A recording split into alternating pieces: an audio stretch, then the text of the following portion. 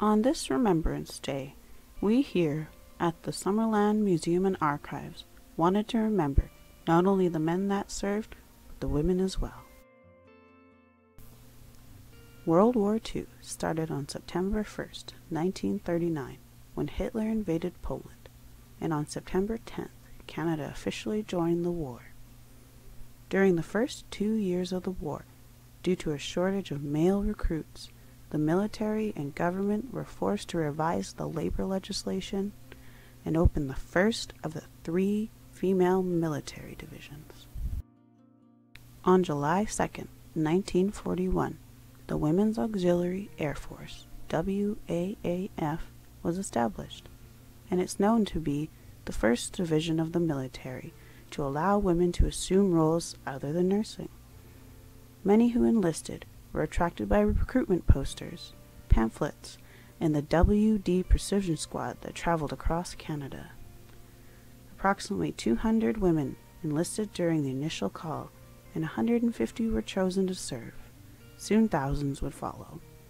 In 1942, the WAAF was then renamed to the Royal Canadian Air Force Women's Division, and they were popularly referred to as WDs, and were subject to the same laws, discipline, and liabilities as the men. The Royal Canadian Air Force Women's Division was a non combatant element of the Royal Canadian Air Force and followed the slogan, We serve that men may fly, and was established to replace male Air Force personnel so that they would be available for combat related duties. During this time, the Royal Canadian Air Force Women's Division had general recruitment guidelines such as between ages of 21 and 41, pass all medical tests, be at least 5 feet tall, a normal weight, accepted in high school, not married or have children under care, and not hold a civil service appointment. When the Royal Canadian Air Force Women's Division was first established, there were only nine trades open for women to join, and as the years progressed, the women were able to work in 69 of 102 jobs. Some of the jobs included meteorology, traffic control, telephone operators, drivers, fabric workers, hospital assistants, instrument mechanics, parachute riggers, photographers, air photo interpreters, intelligence officers, instructors, weather observers, pharmacists, and lastly, police. 17,000 women served in the Royal Canadian Air Force Women's Division, and by 1944, approximately 1,500 women were stationed overseas before it was disbanded in 1946. And of those 17,000, 14 were residents of Summerland. The Canadian Women's Army Corps, CWAC, was the second military division to be established on August 13, 1941. This is following about a month after the Royal Canadian Air Force Women's Division was established in July. The primary objective of the CWAC was to release men of non combatant roles and fill the shortages of Army support staff. Recruitment posters, booklets, film, magazine and newspaper advertisements, and radio announcements proved to reach all over Canada, as about 50,000 young women enlisted and more than half served. Most of these women enlisted through patriotism and uniform, and others for adventure, but some also enlisted to be close to family that was already serving. The general recruitment guidelines are similar to those in the RCAFWD, such as in excellent health, at least 5 feet tall, 105 pounds, give or take 10 pounds, with no dependents, a minimum of grade 8 education, and between the ages of 18 to 45. Every woman who enlisted went through basic training in either Vermilion, Alberta or Kitchener, Ontario. Women with university education were trained up to eight weeks, and specialized training could take up to six months. Even though they were not allowed to enter combat, these women performed essential services both at home and overseas, and were only paid two thirds that the men were. The CWAC was not initially a part of the Army and were not subject to their laws, but on March 13, 1942, the Canadian Women's Army Corps became an essential part of the Army. Its laws, and able to assume Army titles and badges of rank. We serve that men may fight, was their slogan, and these brave young women paved the way for the future generations to have equality and to work in the technical and mechanical fields, with up to 55 trades filled by the end of World War II.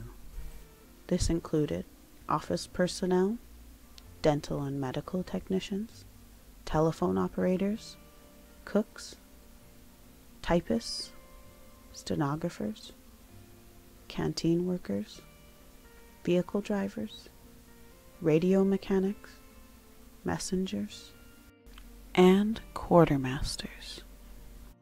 22,000 women served in the Canadian Women's Army Corps before it was disbanded in August 1946.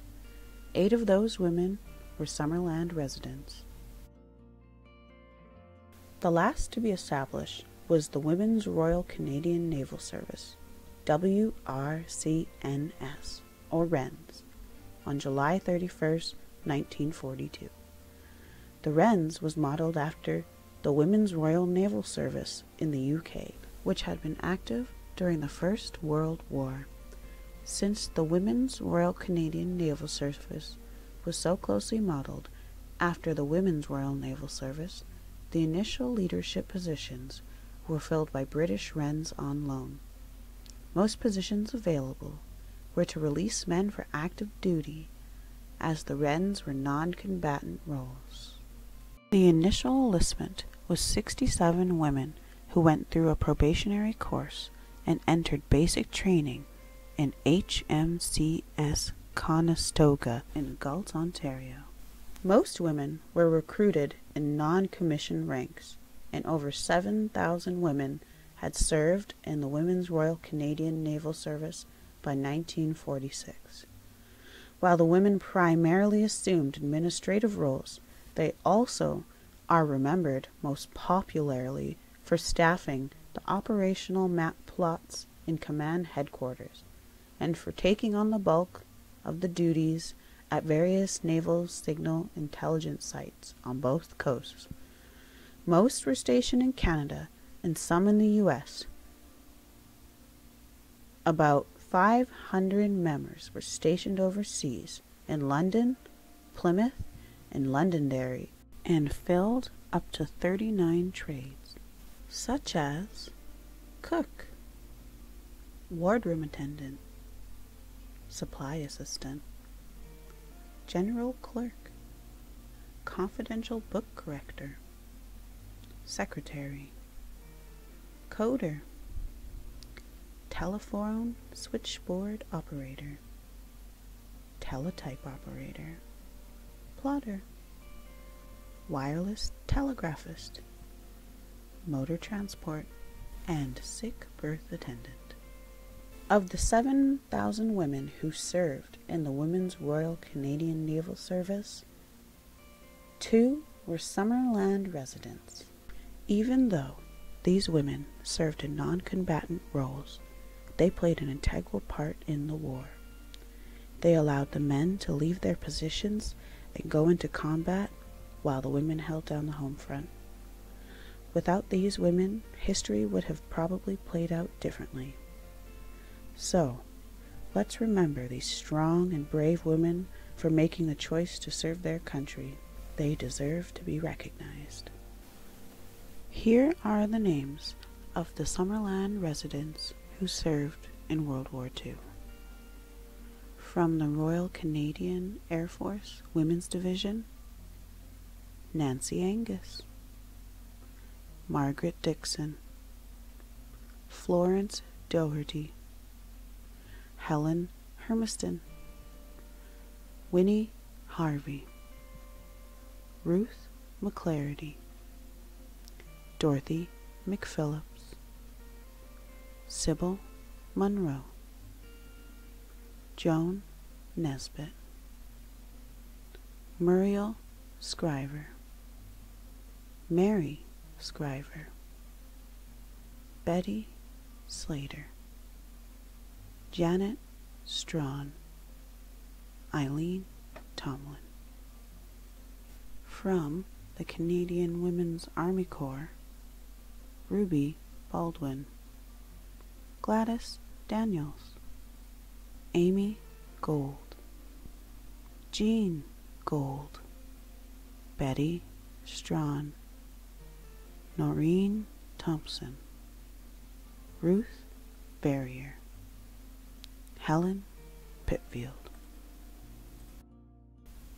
And lastly, from the Women's Royal Canadian Naval Service, Joan Rowley, Nellie Temple.